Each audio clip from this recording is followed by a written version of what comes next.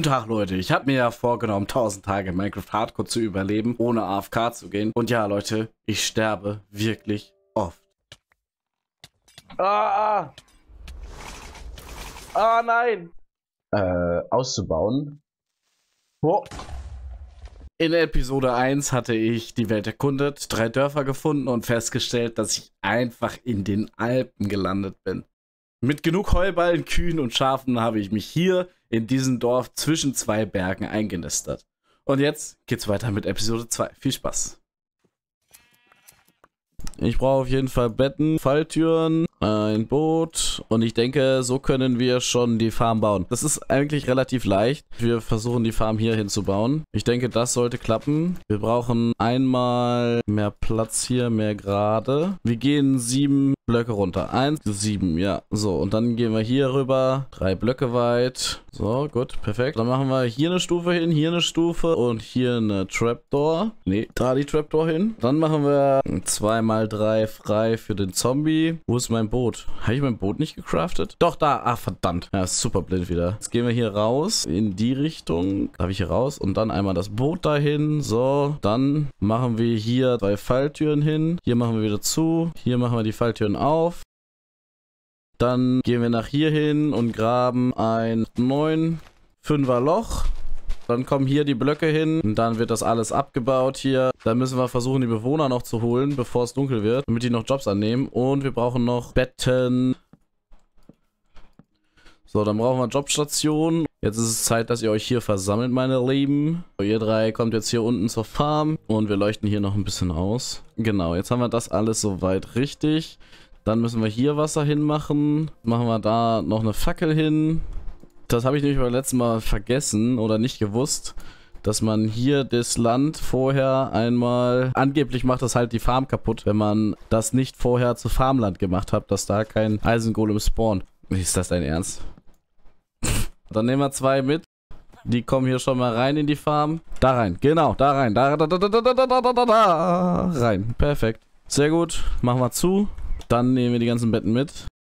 Und werden nochmal die Villager aufforsten. So, Jungs. Ihr habt jetzt hier jede Menge Betten. Jetzt kann ich damit keine neue Eisenfarm machen. Die müssen sich hier erstmal wieder vermehren. So, haben wir jetzt Eisen. Äh, haben wir da überhaupt einen Zombie drin? Ne? Warte mal. Nee, der Zombie ist hier... Warte mal, dann müssen wir das so machen, dass der Zombie da richtig vernünftig reingehen kann. Wann ist es Nacht? Es ist Mittag rum. Okay, was könnte ich tun, um die Zeit zu verbrauchen? Könnte Fichte holen. Auf jeden Fall hole ich Fichte. Ich habe nämlich noch keine Fichtensetzlinge. So, wir haben jetzt hier auf jeden Fall ein paar Setzlinge. Ein Hase. Nee, Quatsch, ein Hund. ja, das ist definitiv ein Hase.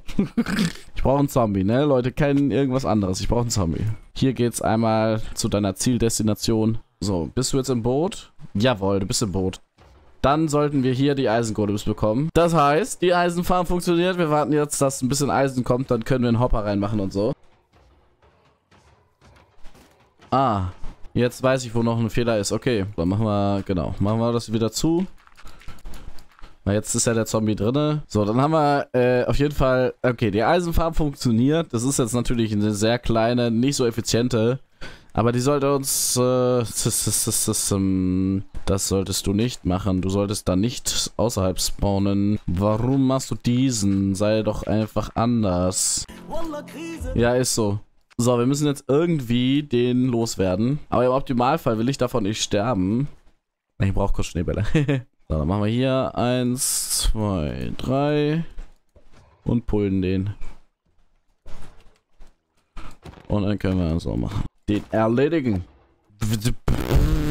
Ich glaube nicht. Ich glaube, das hast du nicht schon wieder getan.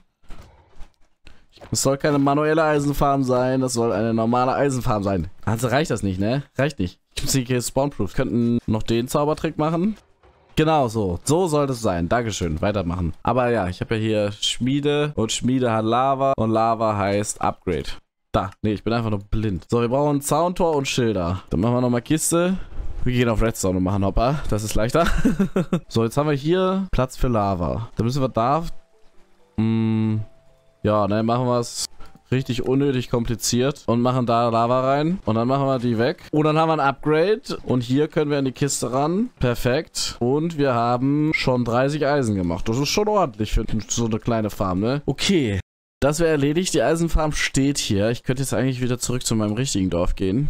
Ah, Home Sweet Home, ja. Ja, aber guck mal, Leute, ich habe so viel Eisen, einfach auch, weil ich hier in Bergen bin. Da konnte man auch so viel Eisen am Anfang finden. Einfach wild war das. Wir werden jetzt langsam mal anfangen, die Bewohner ihren richtigen Berufen zuzuordnen. Jetzt haben wir hoffentlich hier gleich genug Flint. Diese Station, die können jetzt erstmal weg. Und dafür gibt es einen kleinen Trick. Einmal so machen und einmal so. Und dann sollte sich einer den Job suchen. Ja, guck mal. Der ist da schon höchst intelligent und läuft da schon direkt rein.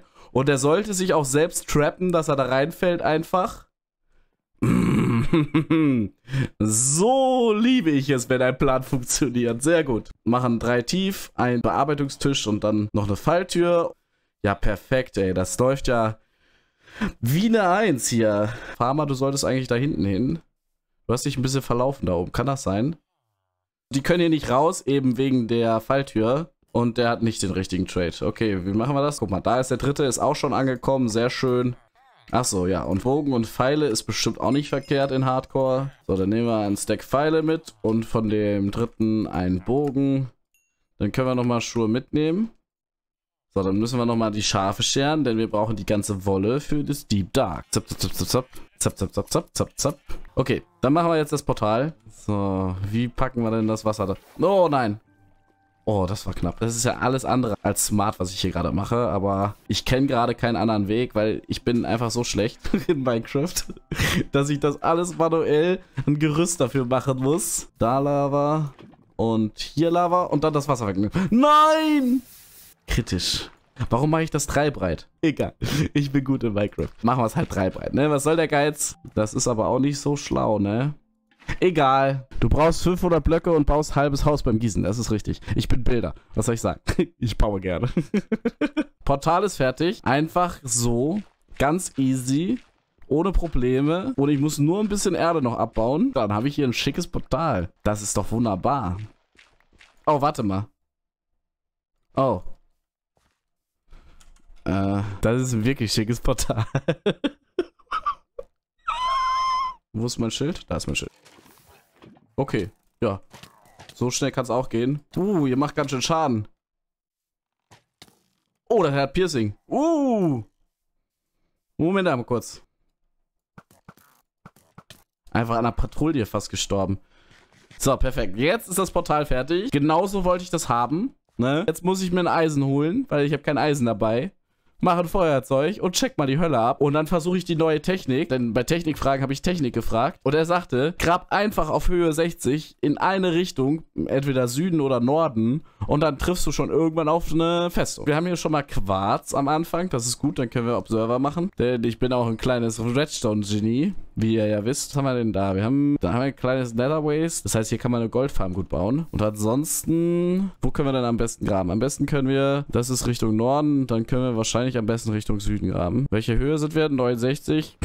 Die Höhe gefällt mir. Wir machen hier ein bisschen Sicherheit, denn wir sind Hardcore und ich habe Eisen und ich habe Schiss. Aber wir graben geradeaus, bis wir eine Festung finden. Mach ich eiskalt. 10 Brot, das ist mutig, ne? Das ist, das ist wirklich mutig. Okay. Ja gut, wenn ich jetzt natürlich keine Spitzhacke mehr habe, muss ich wieder zurückgehen, ne? Krise, ich muss zurück. Da ist noch eine Spitzhacke, eine angefangene. Ja, Sticks ist aber auch nicht so schlau. Vielleicht nehme ich einfach direkt Bretter mit. Wir ernähren uns einfach vom Brot. Es ist egal, wir warten nicht auf das Fleisch. Wir gehen einfach wieder. So, wir gehen weiter. Ist die Frage, geht das jetzt wirklich? Stoße ich jetzt auf eine Festung oder werde ich... Moment. das ist eine Festung. Warte mal, das hat geklappt. Ich glaub's nicht. Aus fröhliches Sterben, würde ich sagen. Da ist ein Spawner. Ja, mhm. Nein, ich glaube nicht. Wa, wa, wa, wa, wa. Au. Vielleicht hätte ich was anderes nehmen sollen als Brot. Ich brauche auch noch Netherwarzen, ne? Das ist ja auch so ein kleiner Teil, den ich ja gerne vergesse. Warum hast du dein Schild nicht in der Hand? Uh. Hab ich doch, ich weiß nicht, was du meinst. Dankeschön. Das wäre so schief gelaufen. Dankeschön. ja, ne? Ich spiele Hardcore einfach auf schwer. Wir haben schon mal Warzen, was extrem nice ist. Oh, ich höre Blaze. Uh, ein Spawner. Stell dich deinen Ängsten. Ja, na, mach ich. Puh. Oh, Blaze One, ich bin raus. Ja, davon können wir keine Enderperlen machen, aber ich kann einiges an Tränke brauen. Oh, oh, oh, oh, oh, oh, oh. Oh, das war nicht schlau. Mm, Das brennt weg, ne? Bei Lava. Aber, solange es nicht wegbrennt... Huh! Huh, huh, huh. Okay. Jetzt wird's, jetzt wird's, jetzt wird's, jetzt wird's wirklich gefährlich. Ganz kritische Soße. Okay, ich lebe noch. Sehr schön. Das hätte furchtbar daneben gehen können. Also wirklich, wirklich furchtbar. Gehe jetzt einfach erstmal.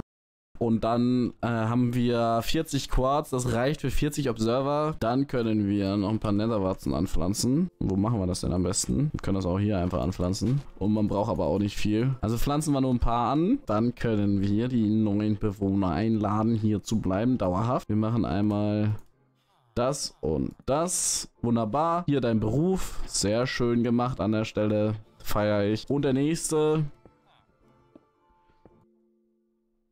Dein Ernst? So, sehr gut. Jetzt haben wir euch. Vertrocknetes Fleisch und vertrocknetes Fleisch. Habt ihr nichts anderes? Na egal. Dann können wir die Zuckerrohrfarm automatisieren. 10 habe ich gesagt, ne? 10 Obsidian, äh, äh, Obsi oh. Beobachter. Hm, Pistons. Brauchen wir auch 10.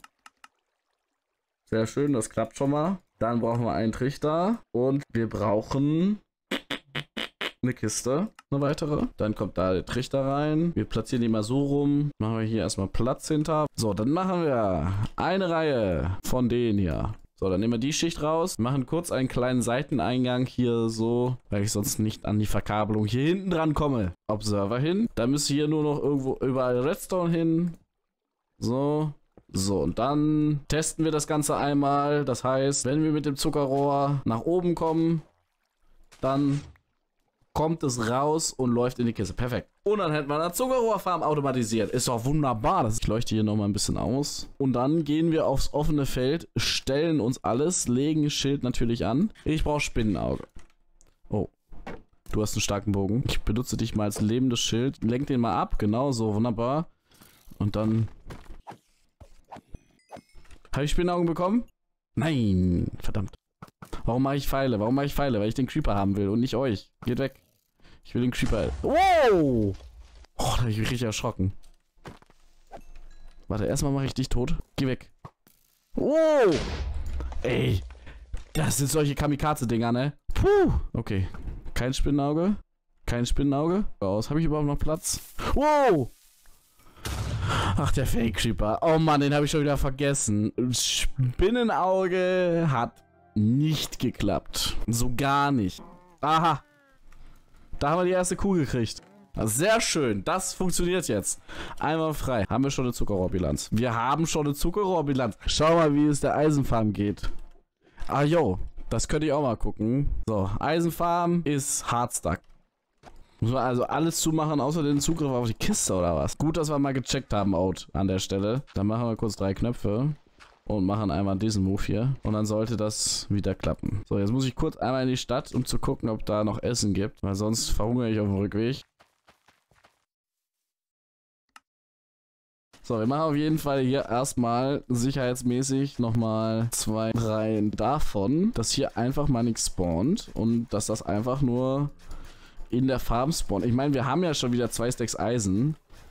Und wir würden sagen, äh, an der Eisenfarm beenden wir das für heute. Yo, Timo hier aus dem Cut. Ich wollte nochmal Danke sagen für 200 Abonnenten und natürlich danke für euren Support auf dem letzten Video. Also, ich bin raus. Bis dann.